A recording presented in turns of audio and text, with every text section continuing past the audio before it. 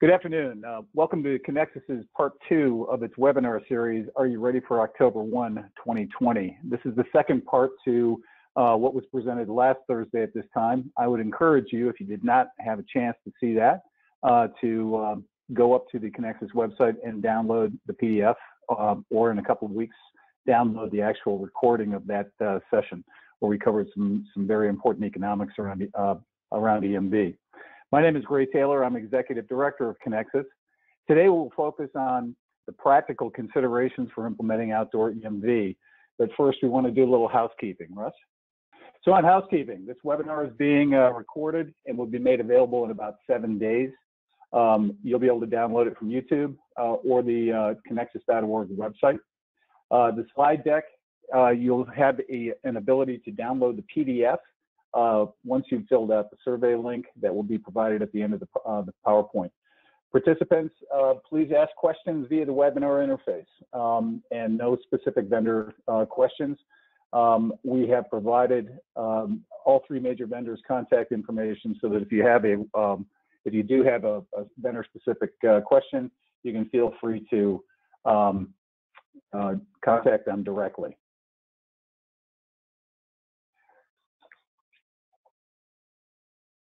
Okay, so on presenters.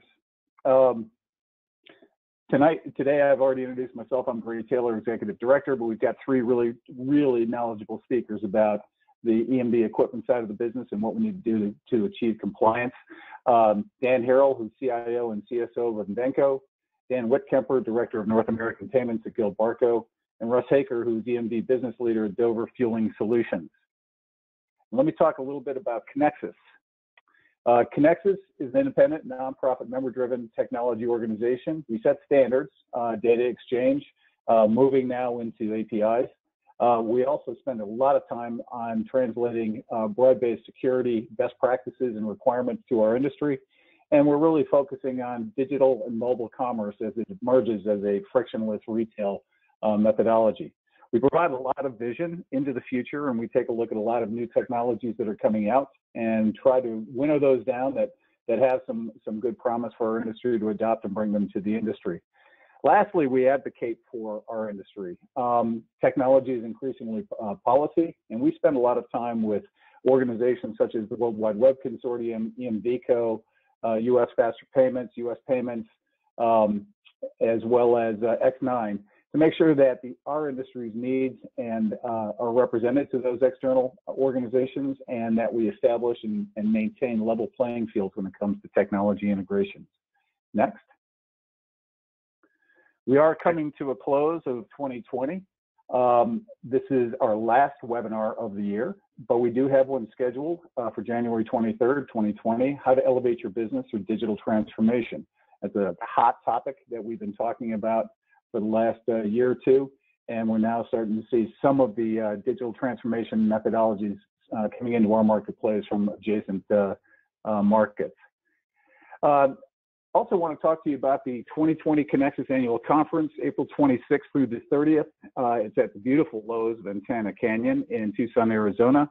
This is a great opportunity for you to get together with a lot of your peers in the industry and uh, learn a lot about digital transformation learn a lot about how we're going to uh, we're going to be re-architecting our tech stacks through microservices, uh, and also get the a chance to to work on some some really good standards work that we're doing to move the industry forward. So I I, I would invite you to consider putting that on your agenda. So um, let's get to the topic. EMV represents the best example of our industry's technology debt. And if you're not familiar with that term, that technology debt is um, that technology investment that lurks unreported on our financials, but it has to be made in order to remain competitive, usually because there's some disruptive event. The known disruption that we're going to be talking about today is going to cause us to realize some technology debt is the estimated $400 million in additional liability that will shift to fuels retailers starting this October. When spread across 2018, uh, gallons sold, that equals a little bit more than a quarter of a penny per gallon in additional liability. But here's the, the, the key point to remember. If you're one of the last 25% of the industry that doesn't, that is adopting EMV, you're the, the last man standing, that cost can quickly escalate to over a penny per gallon. and create a, a big disadvantage with your marketing against your competitors who have. And so I want to get into the programming, and we're going to start off with Russ. Russ, why don't you take it away? Okay, good morning, everybody. Um, just to kind of highlight a few takeaways that um, I hope you guys walk out of here with today, just top level ideas. Uh, EMV is really going to change how you guys do your operate your business going forward. Similar to PCI, uh, EMV has a set of ever evolving uh, standards that uh, are going to change over time. Um, that's going to drive changes in software, kernels, potentially hardware. Uh, so this first round of EMV implementation is not going to be the last. Uh, these the standards are usually coming around on a seven-year cycle, and other markets like Asia Pacific, for example, which implemented EMV years ago, is now on their third cycle of standards. Uh, so that's just something to keep in mind as, as we move forward. This is not a one and done sort of uh, business change for the industry. Uh, secondly, a, a, big misnomer I hear in the market is that EMV is somehow connected to encryption, which is more of a point-to-point functionality. EMV is really about fraud prevention and cost avoidance. It's about ensuring your business against chargebacks uh, that come from, um, you know, credit card fraud uh, from clone card type activity. Uh, the last point I, hope you guys walk out of here today is an understanding that waiting to upgrade to EMV um, may have some undesired uh, results and consequences associated with it. I know a lot of the market is sitting on the fence trying to decide what they want to do and when they're going to do it. Uh, but right now, you know, as we get, we're, we're going to face a bottleneck, and as we get closer to uh, uh, the deadline, the longer you wait, uh, there may be some undesired side effects with that.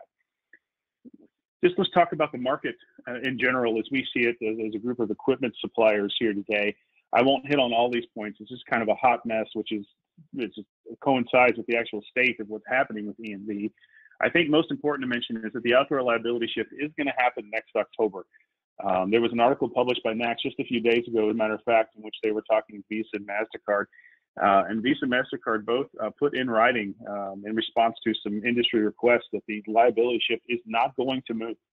Uh, so for those of you that are still holding on to that hope, uh, I wouldn't place any money on that um, for next October. Um, we're seeing a lot of large retailers move um, in the market, and you know, grocery store chains, these types of hypermarket businesses, those businesses that have a large brand and a large footprint to protect. Uh, but the majority of the market is made up of single site owners, and that's where we're seeing a lot of, you know, the wait and see kind of mindset. Um, a lot of the, the feedback is around the notion that the risk is not justified by the cost of the upgrade. Um, so hopefully we can give you some insight into actually what the risks are today as well. Uh, in terms of where we are in terms of upgrades in the industry, I think we're around 35% uh, hardware installed. That does not mean that all of those sites that have hardware are actually processing EMV transactions. Uh, the hardware is just there. So we've got quite a bit of ways to go. And as mentioned uh, before, one of the undesired consequences, uh, the longer uh, you may you choose to wait as a merchant, there's an ASO tech deficit in the market. if everybody released their decided they were going to upgrade tomorrow and release their orders, there's just not enough time between now and October uh, 1st, not enough technicians to complete the work. So that's going to have some negative impact as we move forward. Let's talk a little bit more about fraud at the dispenser. This is a little bit of a, pardon me, a rehash of what was talked about last week. Um, overall, the entire industry, from in terms of an outdoor payment uh, scenario, is seeing around $400 million in outdoor credit card fraud. I think uh, um, NACS and Conexxus estimate that um, in 2020 that number is going to approach 450 million. And you know, these days, the Secret Service being one of the primary agencies that combats this kind of fraud, they say they're recovering roughly 30 to skimmers a week. Uh, and as Visa talked about last week, when the indoor transition occurred, that really opened up the forecourt uh, towards for this type of fraud activity, and that's where a lot of criminal organizations are focusing their efforts. So, what does this look like in terms of an individual sort of transaction? Uh, let's say an individual who has already got a set of clone cards, white cards, um, ready to use on your site, wants to come to your site and um, and use those clone cards. And they say they've got a retrofitted van or truck that's capable of uh, you know holding several hundred gallons of fuel that they're driving around the various stations and using these clone cards. So you know they're going to pump in $75 worth of diesel, uh, do a full transaction if that's the transaction limit for your site, and you as a merchant in this scenario, I mean, you're out from an opportunity cost. That's $75 of revenue. You've also lost your transaction fee, the cost of the product, because you're not getting that back to sell to somebody else. uh, any overhead that went into marketing or operational costs to get that transaction, that sale, you've lost that. And you've also lost the chargeback fee. So at a high level estimate, um, the total losses for these types of activities on a transaction basis to the merchant are estimated at two to three x the actual uh, price of the transaction sale. Um, so something to consider going forward. If we kind of explode that out and what that looks like in terms of real data, this is real data from Visa. Um, the names have been uh, hidden here for these stores, but these are actual sites over a 12 month period uh, looking at the uh, losses that they've incurred due, um, to, due to fraud uh, with chargebacks included. Um, something to point out here is that you know the chargebacks are not going to be hitting these vendors uh, until about 30 to 60 days until after uh, the fraud occurs. So it may not be something that you see for a month or two until the activities actually hit your forecourt. Um, in addition to that, you'll notice some of these trends here. In some cases, in scenario one, it looks like the, the criminals involved may have been testing the waters a little bit in the months preceding up to you know larger activity. Whereas in the cases of three, four, and five, uh, there was pretty much no warning. And when you get down into scenarios four and five for these C stores, these depending on your size of your business and how many sites you're operating, um, this could be business breaking uh, sort of level fraud transaction and criminal activity. Uh, something else to point out, um, just some, some recent activity that Secret Service is actually seeing. Um, they're actually recently have seen uh, foreign crime organizations, specifically from the Ukraine, moving across the Mexican border, and they're coming across with the uh, training and the equipment to explicitly commit white card fraud. So you know this is a growing problem, and it, it's it's organized, and it may be only a matter of time till it hits your doorstep. Uh, in terms of what we're seeing in terms of physical uh, fraud and, and, the types of equipment they're using to get the information to create white cards, clone cards. Um, everybody's familiar with with typical inline magstripe card uh, skimmers. These are typically a small PCB with a cable attached to it. Usually there's some kind of shrink wrap, as you can see in the picture, around the PCB. The only way you guys can really protect yourselves from this type of uh, intrusion is to inspect the inside of your heads that would be the, the primary thing if you don't have any other passive security systems on your dispensers. If you ever see anything like the picture on the right there with shrink wrap around on a cable coming out of the back of a card reader, um, that is not coming from your OEM equipment supplier. We would never put anything like that in the dispenser. Um, some other things that you can do to combat this type of activity are to upgrade your lock systems on your dispensers. Uh, both these dispenser equipment providers have um, lock scenarios where you can upgrade from the standard hex keys. We also have uh, security systems through a series of uh, sensors and software that can be used to actively monitor monitor uh, intrusion into the electronic head. Uh, these systems typically work in the fashion if, if somebody who needs to have access, like a maintenance ASO, shows up, they can use a, a code that's generated uh, from one of our companies and enter that into the into the pin pad, and that gives them the access to temporarily disable the system while they do their work, and then the system would rearm itself uh, shortly after everything's buttoned up. But these these types of systems are something that you can add along with your EMV upgrades to help prevent unauthorized access to the electronic cabinet. Additionally, just upgrading to the EMV ready hardware that's out there right now goes a long way towards preventing those types of inline skimmers. Um, these EMV hybrid readers, these chip capable readers, uh, have hardware handshaking with the other components in the EPS system uh, that are designed to prevent uh, inline skimmers like what you saw in the previous slides from working. Uh, it'll actually send the system in, into a sort of a soft breach state uh, and won't take payment until you figure out what's going on. So these are the ways you can kind of help the industry fight um, this kind of fraud on the front end. Uh, once you've upgraded to EMV or even put your EMV hardware in, maybe you don't have the software turned on yet. Some of the newer things we're seeing uh, in terms of attacks are external skimmers being mounted on the outside of the dispenser. Since uh, fraudsters can no longer put those inline skimmers in, they're trying to put something uh, a replica of the molded face of the card reader, for example, on the front of the dispenser. And inside of those housings are maghead readers and small memory chips, maybe Bluetooth transmitters designed to pick up the card read uh, before it actually get the card actually gets into the reader. Another new technology is called a shimmer. Uh, this is actually a mylar film with similar components uh, placed on it inserted into the slot of the EMV reader. Uh, and the, the idea here is that, again, as you insert your card, even if you're trying to do a chip read, uh, card that's a hybrid card with that mag stripe in there, this shimmer would still pick up that mag stripe information off of that card.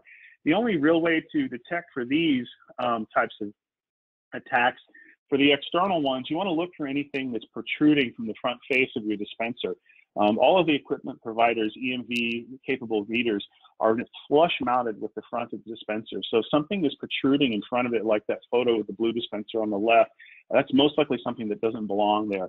In terms of the shimmers that are going inside the card slots, the only way to really detect these is with the use of a flashlight and visual inspection and to listen to cues from your customers. If you've got a lot of customers coming in saying, hey, I'm having on problems uh, problems on pump one, it's really hard to get my card in and out of the slot, you might have something in there that shouldn't be there. Um, so that's kind of the end of my section. I'm going to hand it over to Dan Harrell now. He's going to talk a little bit about EMV enablement and how to get from point A to point B in terms of EMV readiness. Thanks, Russ. So Russ has covered uh, some of the reasons that we need to be looking at EMV enablement uh, and did a good job of showing us what types of things we need to look out for. I'm going to focus on the process that you're going to need to go through uh, in order to make this EMV conversion at your retail locations.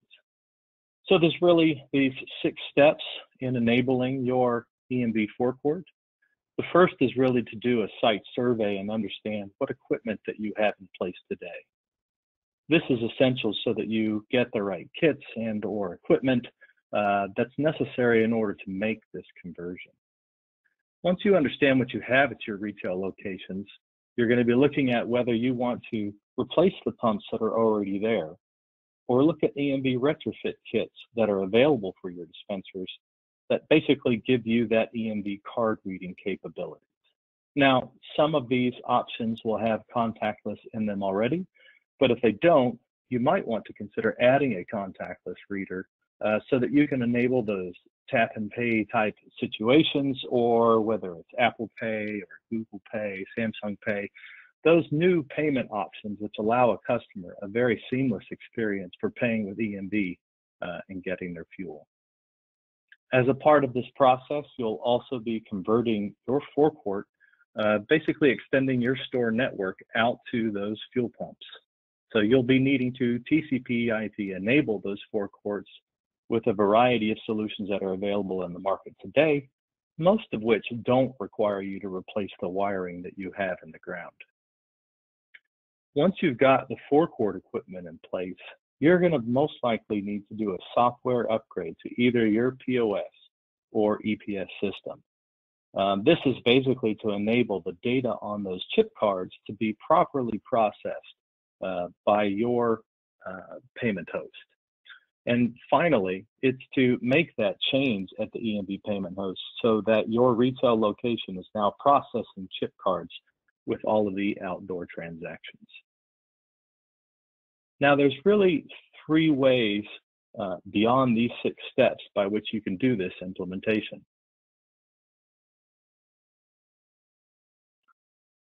And each of these has different ramifications in terms of cost and timing of the implementation. Uh, a dual trip approach means that you would be going out to the location and upgrading your forecourt with EMV capable equipment. That EMV capable equipment uh, would be running in magstripe mode up until the point at which you upgrade the systems inside your store and your payment processor to process those EMV payments. Now that's basically uh, could could be done in steps or opportunities one and two here. The first of which is we would actually send somebody to the site to perform that POS upgrade and to work with the processor to make that migration. In the single trip where it's POS activated, this basically means you've run the site in magstripe mode and then remotely upgraded the POS and remotely worked with the processor to convert to the actual EMV processing of outdoor transactions. And the last of these opportunities for doing so, the single trip Big Bang, means that all of your uh, equipment and your POS upgrade and your processing uh, are all ready to be done in a single trip. Um, this could have some significant logistical and synchronization challenges because you need to make sure that everybody's ready to do that switch at any given point in time, uh, but also could be more cost effective because you can limit it down to a single trip. Next slide. So I've mentioned this before, but this does involve upgrading uh, your forecourt to be TCP/IP enabled. This does have some security ramifications uh, that you need to be aware of. In addition to that, most of these devices uh, have cloud connectivity options, which which is uh, good for retailers for a number of reasons. But all of these have different security ramifications. So you can either work through your IT organization to make sure that your sites have the proper uh, connectivity and security in place, or you can work with third-party managed network service providers who can take care of this security for you. But making this investment in the TCP/IP uh, enabled forecourt uh, basically puts you in a good situation to be efficient in the future, uh, because with EMV, you're likely to have to upgrade your payment terminals and software over the lifetime of that terminal. And some of the enhanced capabilities like remote diagnostics and remote monitoring of equipment are enabled through this TCP IP enablement. So I'm going to turn over the presentation now to Dan Whitkemper, who's going to talk a little bit about more of the other ramifications of EMV. Great, thank you, Dan. Yeah, so this is Dan Whitkemper with Gilbarco, and uh, so Russ walked us through some of the fraud risk elements, and Dan just explained the steps to enable forecourt EMV. And the piece I'm going to share with you today is more around the lessons that we've learned along the way. Specifically here, let's talk about uh, considerations around uh, permitting, especially speaking to those folks in California. Uh, permits can take a couple weeks up to a year, depending on the type of uh, uh, EMV upgrade that's occurring at your site and what, what's being upgraded and if there's any groundbreaking that has to occur. So it is very scope dependent we're also hearing in other states there could be similar ramifications as well. So please work with your local authorized service contractor. They would have a better sense of the type of permits that would be needed for the specific type of EMV upgrade that you would encounter. Um, Russ, we can go to the next slide. The next item here we want to talk through is around waiting. So what we've done is we've looked back at some data, uh, a fair amount of data that uh, for projects that we've managed over the last uh, 12 years or so. Going back to the PCI uh, upgrade cycle from 2008 and 9, and the more recent indoor EMV upgrade cycle. And we took a look at what was the cost to manage a program to upgrade a site um, with specific timing in mind. For example, here, uh, what we've seen was running up to a particular um, deadline, the costs went up by 14% six months out from that deadline. When you were three months out from that deadline, it went up, to, up by 23%. And at the end of the deadline, or sorry, at the deadline rather, it went up by 33%. And even right afterwards, three months later, it was still hovering at like a 31% increase over what we'd say was our normal costs. And you might ask, well, what drives that? And Russ kind of touched on it a bit. I mean, there's a, a, a fixed number of resources in the field that can do these upgrades. So what we end up encountering is overtime hours. So as you get closer to that deadline date and more retailers uh, make requests of the ASCs to uh, come out and do these upgrades at their sites, what they experience is an increase in cost due to overtime. So if we go to the next slide, I'll explain how we can avoid some of that.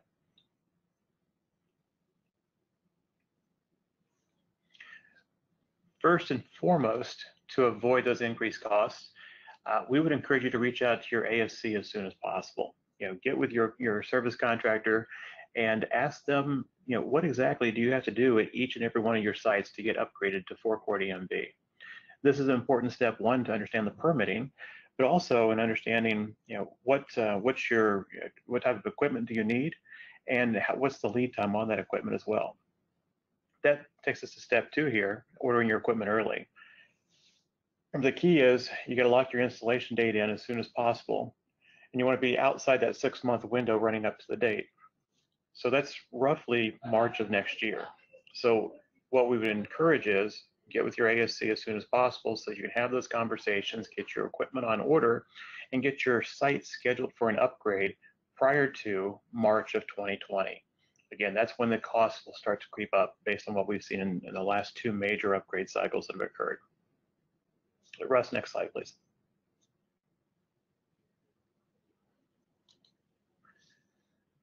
And from a lessons learned perspective, there's another element here in terms of training. Um, there is uh, a wonderful amount of uh, messaging that gets displayed on the dispenser screens from the uh, point of sale systems that are driving these uh, transactions for EMV, which can be very helpful to a user, but it does require that those consumers that are coming to your sites actually read the screens. And we know from uh, experience that you know folks typically don't look at the screens often enough especially in this key uh, changeover when they need to uh, use an EMV transaction as opposed to a magstripe transaction. So what we would encourage you to do is make sure your staff is fully trained.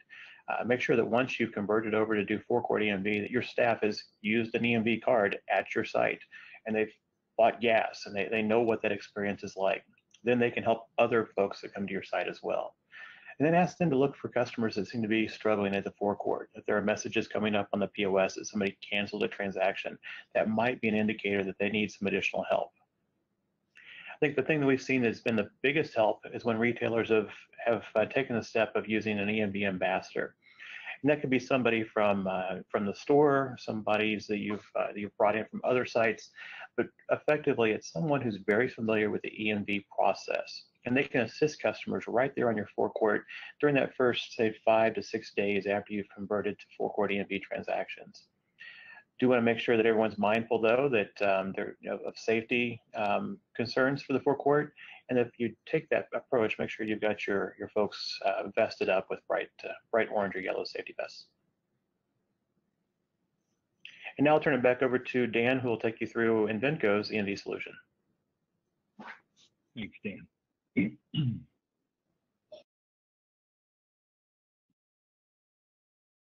Go ahead to the first slide, Russ. So EMV offers an array of retrofit kit EMV solutions for nearly every pump that's available in the US market. Each one of those solutions uh, includes the barcode reader and NFC contactless, contactless as standard.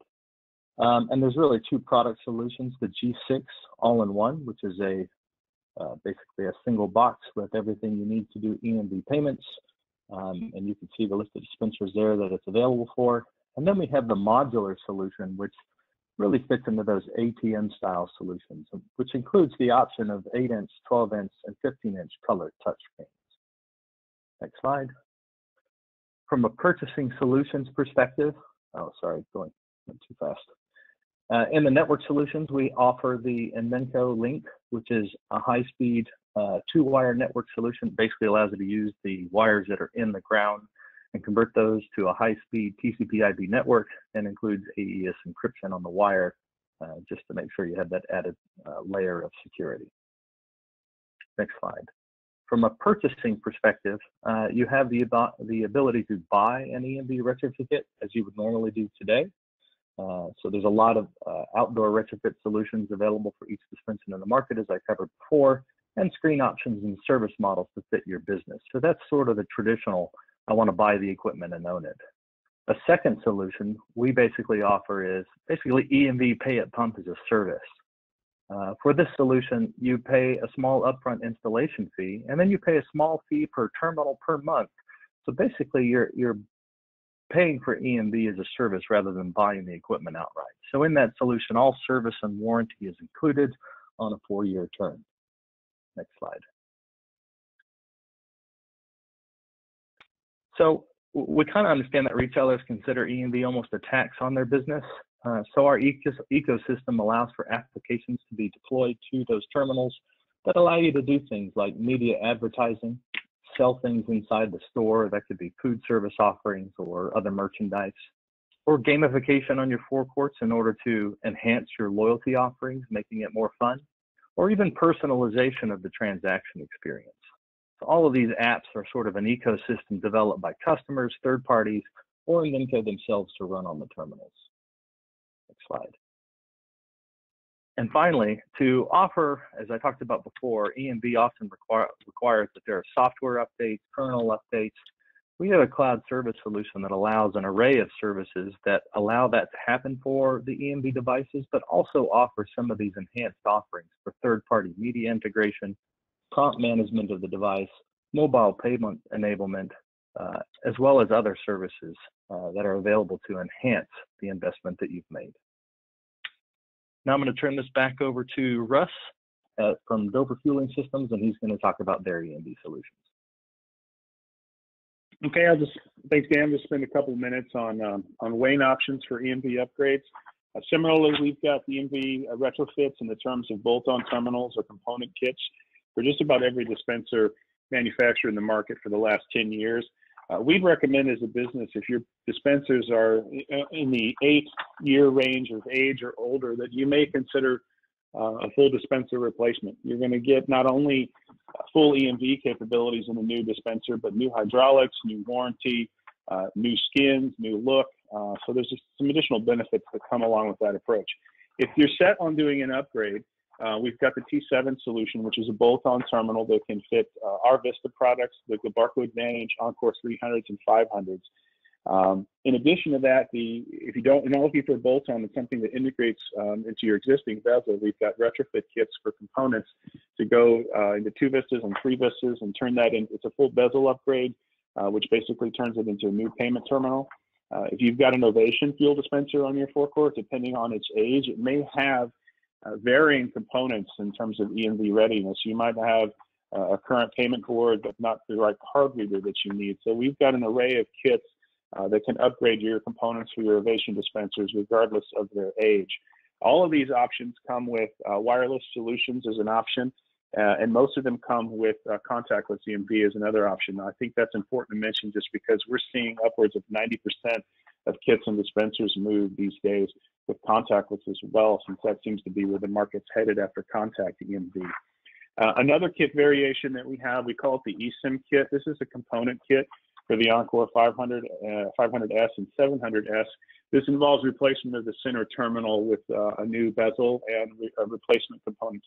All the other existing screens uh, and, and push to start buttons and, and unit price displays on the existing uh, dispenser are used. This comes also with a 12 inch touchscreen option as well. Moving on to connectivity. Um, if, if obviously, you know, if you've got Cat 5 or 6 cable on your forecourt or you have the capability to run that, um, you know, standard Ethernet switch in the dispenser will get you by. In most cases, that's just impossible or too way too costly to do. So we have both wired and wireless solutions that can give you that TCP connectivity that you need, not only for EMV, but if you're trying to do additional technologies like media on the forecourt as well. And lastly, I'll just briefly mention uh, from a cloud services perspective, iSense is really our primarily uh, remote monitoring and management solution. Uh, it allows us to aggregate all kinds of data coming from the dispenser, uh, presented in a, a, web interface, a, a, dashboard, if you will. Uh, this works for a single site or multiple sites.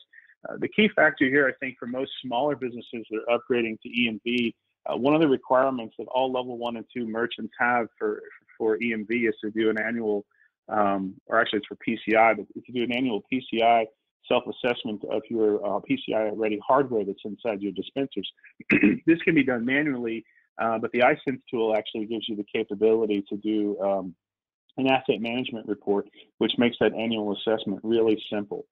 Um, so I'll end there and I'll hand it back over to Dan Whitkemper. He's going to go through the Gilbarco solutions for you guys. Great, thanks, Russ.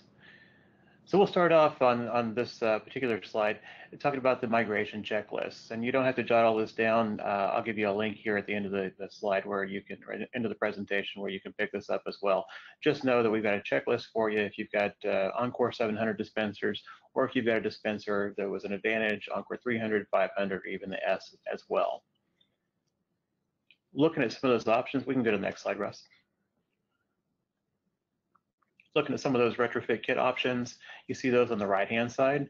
Uh, similarly, going back to 1990, the Advantage dispenser, we can provide a retrofit kit all the way up through uh, present uh, dispensers that have been manufactured.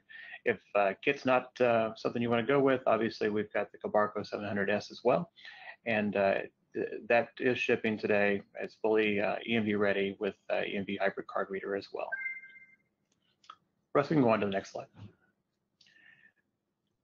So as we've been talking through the uh, the connectivity, which is a key component to getting to uh, forecourt EMV, we have an option here for FlexPay Connect version 2. Uh, first option there um, effectively is Uh, installing the version two of FlexPay Connect, it wraps that uh, that two wire that's in the ground today and turns it into a high-speed cable.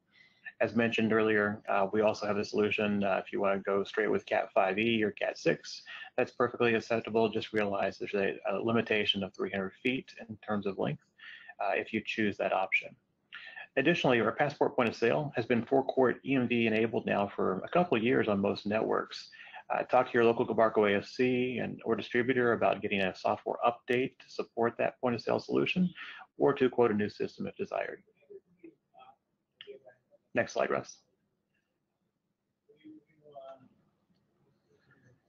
From a cloud services perspective, one of the, the benefits of getting to high speed at the forecourt is now we can do some really neat things with the dispenser. And our Insite360 solution is our cloud-based offer for retailers like yourselves to enhance the consumer experience at the site, to optimize profits, and reduce the maintenance costs that you experience. So we'd highly encourage folks to take a look at uh, this solution um, as you are also doing your forecourt EMV upgrades. Next slide, Russ. And as I promised, we've got an EMV migration guide on our website. You can find that here at this link. And then the products we just discussed as well, they're also at the links below. At this point, I'm going to turn it back over to Gray for questions and answers. Hi, everybody. That was a great walkthrough. Uh, a lot of information in, in the uh, in the deck and that was presented. Um, I have uh, a couple of questions. The um, one that I had as we were going through the skimmers and shimmers, um, because it reminded me of that even though Europe has gone through EMV uh, upgrades, um, you still have a risk of even going to an ATM and and uh, having a, a, shimmer take your mag stripe card uh, data. Um, I'm hearing and getting questions from people about these Bluetooth or these these wireless detectors. Um, I was wondering if anybody could comment on whether they have uh, any efficacy. Um, these are third-party mount them on, mount them on your phone uh, type of detectors that will see if you have a uh, wirelessly connected uh, skimmer. Anybody have any opinions on that?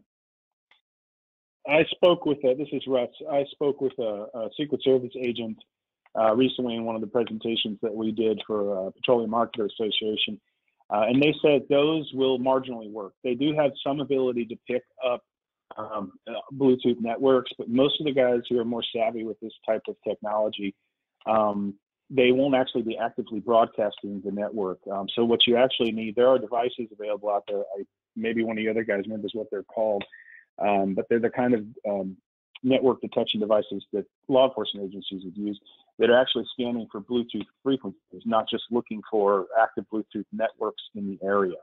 Uh, and those are actually more adept at, at finding um, skimmers that are using that kind of technology. Okay. Another question. Um, I know that EMV does not end uh, does not add end-to-end -end encryption, but do any or all these solutions provide an encryption option? I think all of us do. Uh, Dan or, or Dan, you want to speak to that? Yeah, on the Gilbarco side, we uh, we also offer an end-to-end point-to-point encryption solution as well. Yeah, that's true for Invenco as well. We have a plug-in technology that allows us to support a variety of P2PE implementations. Same for Wayne. Uh, it's a basically an application, additional application that's installed with your payment solution that enables point-to-point with your host network. There you go. So another question that came up with is, um, why does it take a permit to upgrade your your four? Um, does it, does it take a permit to upgrade your forecourt controller and your, I guess, your forecourt equipment to EMV? Great, I'll take that one since I had that uh, section on lessons learned. So it may not. So it really depends on the type of work you're having done at the site. If you are breaking concrete to, you know, install new conduit so you can pull cable, you're going to get into a permit at that point in time.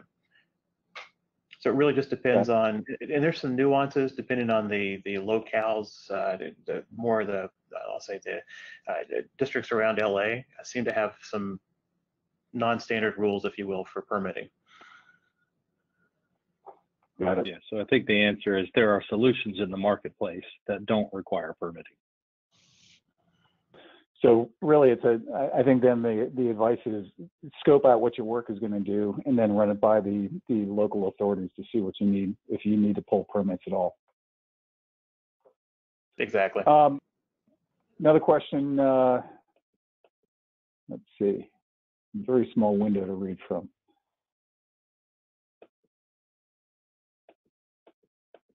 Um, what percent of the U.S. stations are ready for EMV? I'm going to take that one um, because um, Conexxus has done a, a pretty comprehensive survey, uh, not only getting the the pent up liability shift, but um, last July going into August, Conexxus also surveyed just over 24,000 locations on preparedness, and, and so this is midsummer data. But as, as of that time, just over 40% of the sites uh, believed that they were going to be EMV compliant um, by the deadline. Uh, Conexxus plans on doing an update to that uh, survey uh, that's going to just solely focus, uh, unlike the survey we did in the summer where we talked about indoor, we also talked about contactless and so on. We're going to do a, a quick survey uh, towards the end of Q1 to see where we stand uh, at that point as far as readiness and preparedness to upgrade. But um, you know, clearly we do not have uh, the majority of the, the retailer community uh, as of the end of this year saying that they're going to be ready for EMV uh, liability shift. And get another.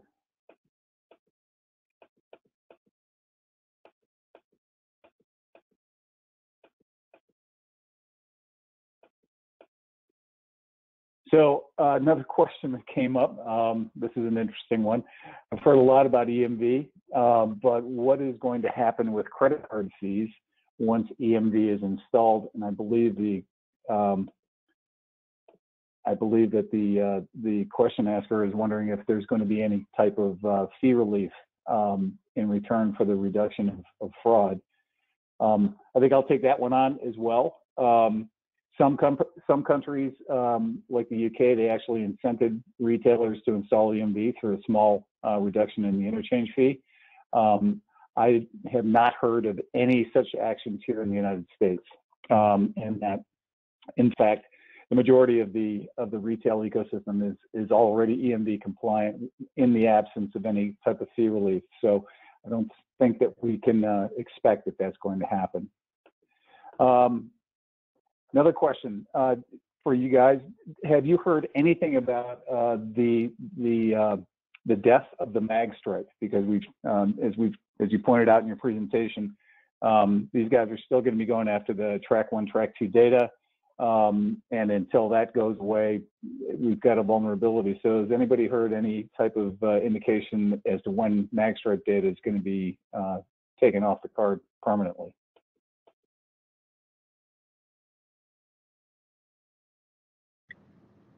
I have not. Um, this is, yeah, I, I haven't either. That question's come up in, in other similar webinars and presentations, uh, and I've heard no definitive timeline uh, of when that's going to happen. I, I think just talking on the side with representatives from Visa, it could be five to 10 years before we see mag stripes completely gone from hybrid cards.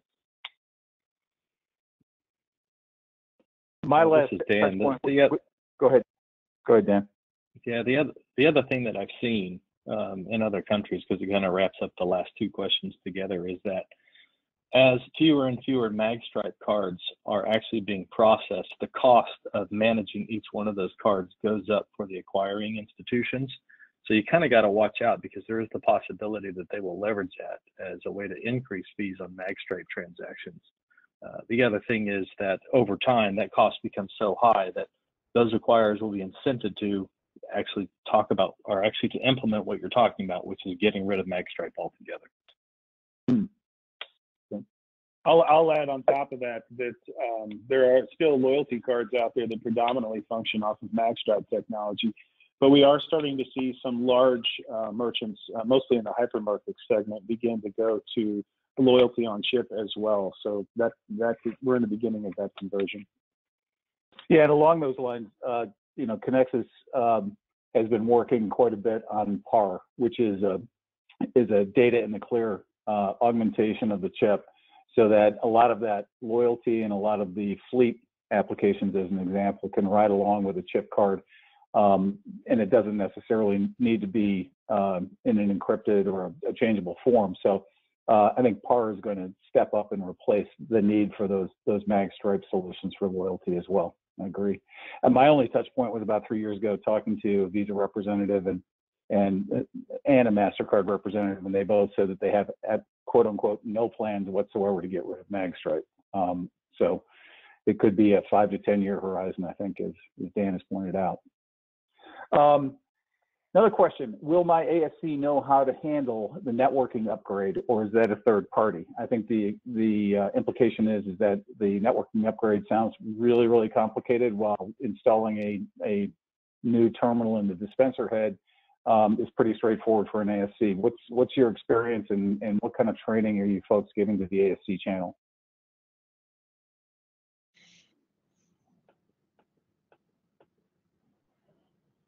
Yeah, great. This is Dan with Gilbarco, and, and we've um, we've taken our ASCs through a full gamut of training on the forecourt solution for FlexPay 4 um, or FlexPay Connect 2 for a, a FlexPay 4 terminal. And then, depending on the POS solution inside, uh, they'll know how to engage with that POS solution as well.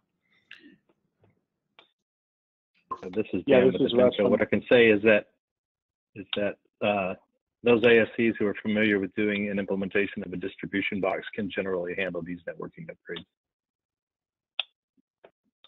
You stole my thunder, Dan. That's what I was going to say. Our guys have been trained as well. You know, one of the biggest pieces of this is just getting the IP addresses aligned since each dispenser uh, fueling point now has to act as, a, as an IP address on the site, and that's a big piece of it. So these guys have been trained on on this type of network management. So.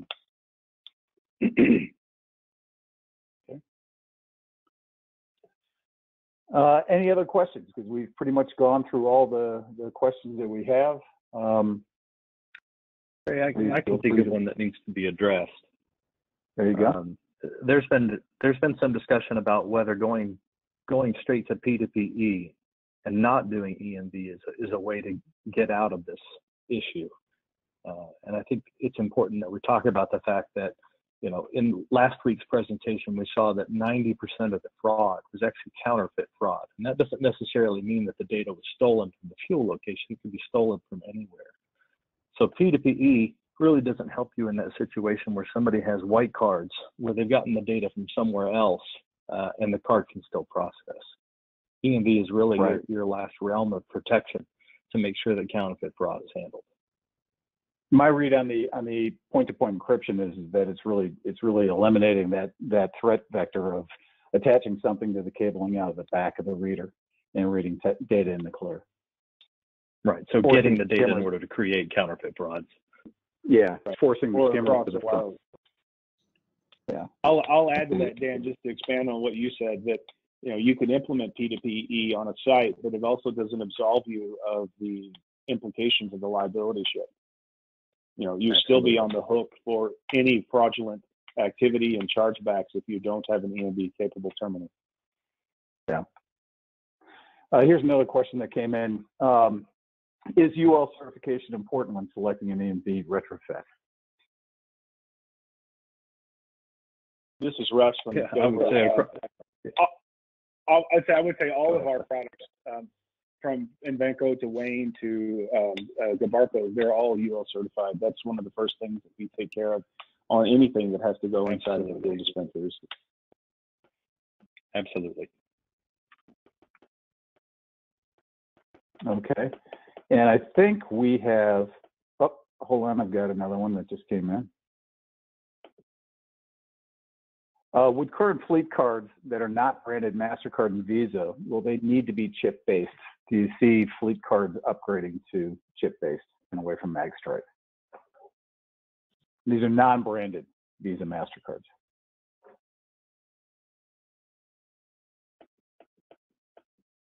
Um, yeah, again, where I've I've seen, uh, uh, it's actually you're talking about fleet on ship. We actually um, are are working with several um, large entities, uh, customers for a fleet uh, implementation of EMV.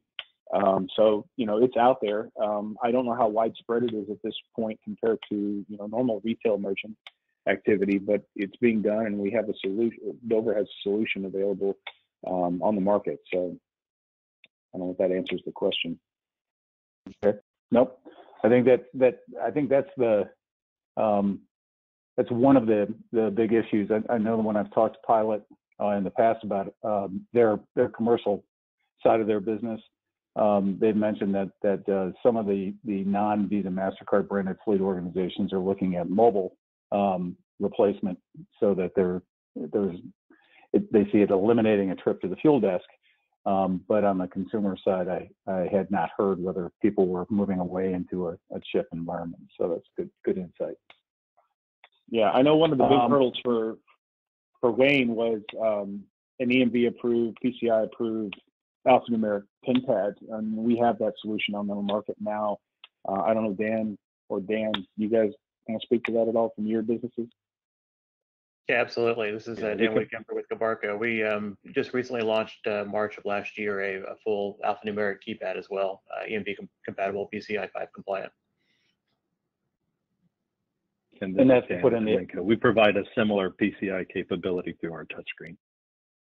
And that's to put in the alphanumeric data entry that you need for traditional fleet programs, correct? Yes. Correct. Okay. Well, we've reached the end of our questions. Are there any other last comments uh, from the panelists? Um, we can move to the resource page. Great. So this is uh, Dan Whitkemper with Gilbarco. I think I just want everyone to, to really take seriously that the date's not moving. October 1st is going to, 2020 is going to come, and um, we, we've got to get prepared for that. And I think uh, what I would encourage is folks take a look at what can they do to be ready earlier than later. Totally agree. We have not heard any indication uh, at EMVCO, at US Payments, any of the any of the um, um, venues where we participate in this in this upgrade. Um, we've heard no indication from any of the card brands that this is even a remote possibility. Uh, the other thing I'd like people to remember, um, you know, that's 400 million escalating to 450 million dollars. Um, sounds like a pretty unbelievable number, but I think that we've walked through how that's going to happen uh, in the form of skid tanks. We've gotten confirmation that um, we are attracting global thieves to our market because at the end of the day, we are the single largest industry in the last remaining major market that has not gone to EMV. Um, our industry does routinely 10% of the card transactions in a given year. And I think uh, we'd be foolish to think that we are not going to attract people from all over the world to come in and try to exploit that that um, that problem. So um, I think it's time for us to take it seriously. It's not going to get pushed off again. Uh, it is going to be a big number. Uh, we can argue over how big the number is, but it will be a big number. And uh, I don't want to be that last 10% of the stores that has upgraded to EMV because we're going to see, just like with skimmers, we will see thieves consolidate to those those stores that have not taken the steps to protect themselves. And we can get into the situation where I can't afford not I can't I can no longer afford to upgrade because my chargebacks are so so high. Um, and I can't afford to be in the fuel business because my, my chargebacks are so high. So I think that's just the dangerous uh, vice that we may be getting into. I'm going to leave us here with some uh, resource pages um, that we have at Conexxus. Um, we're always adding this, so please go back. These are publicly available. Please go back to the Conexxus resource pages, and um, we'll be linking to uh, things as they come along and as we, we learn. Uh, Russ, we go to the next page.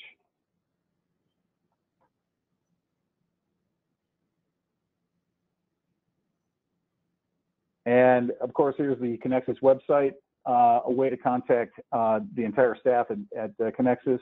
Our LinkedIn profile, uh, we'll be posting a lot of updates as far as um, uh, but also just technology trends and cool stuff that's happening out there.